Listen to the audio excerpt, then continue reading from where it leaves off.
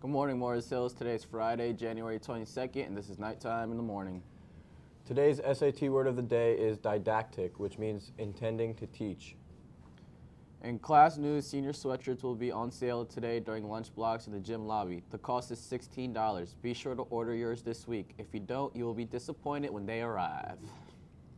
In school news, please be advised that the SATs scheduled for tomorrow have been postponed to Saturday, Saturday February 20th. Saturday detention is canceled for tomorrow. All students scheduled for it will serve their detentions on January 30th. In testing news, quarterly exams for the second quarter will be given next week.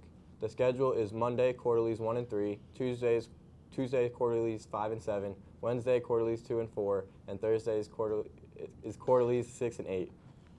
Any student who is absent from a quarterly must make it up during the next makeup day. If a student is absent for multiple days, a doctor excuse must be provided. Also, electronic devices must be off and out of sight during the exam or you will receive a zero on the exam. There will be limited computers block 6, 7A, and C, and 8 in the library. In sports news, mandatory spring sports sign-ups meetings will be held today at 3.15 in the cafeteria. Information regarding clearance requirements, practice, schedule, and tryouts will be discussed. A late bus will be available at 4.30. In clubs news, the Key Club is collecting aluminum can tabs for Ronald McDonald House. Please drop off tabs to room 120. All are invited to participate. Also, the Key Club will put together Valentine projects in room 120 immediately after school on Wednesday.